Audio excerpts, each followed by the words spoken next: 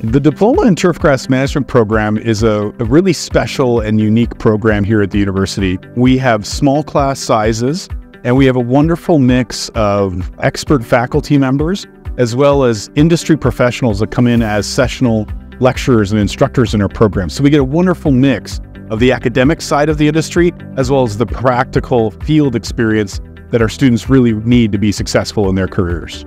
This program has prepared me really well for the, a career in this industry. I think the variability, both in class and out of class, has uh, is really well reflective of the kind of experiences that you get once you're actually in the field doing the work. The instructors have been fantastic. The students have been fantastic, and they're all very passionate about your learning, and they guide you in the right direction. I find the experiences in the lab and working hands-on with different equipment and different uh, scientific procedures have really helped me I take a special interest in ensuring that our students, while learning in the classroom and in the labs and out in the field in the research areas, also have an opportunity to get out and attend industry events and bump arms and elbows with employers. That professional networking aspect is also very, very important so that when the students graduate, not only do they just graduate with great marks, but they also graduate into an industry that already knows who they are by name and by face, which works really well and translates well into recruitment post graduation.